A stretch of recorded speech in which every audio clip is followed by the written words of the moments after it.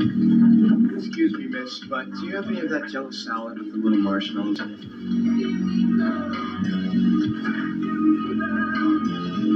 Oh, I'm so sorry.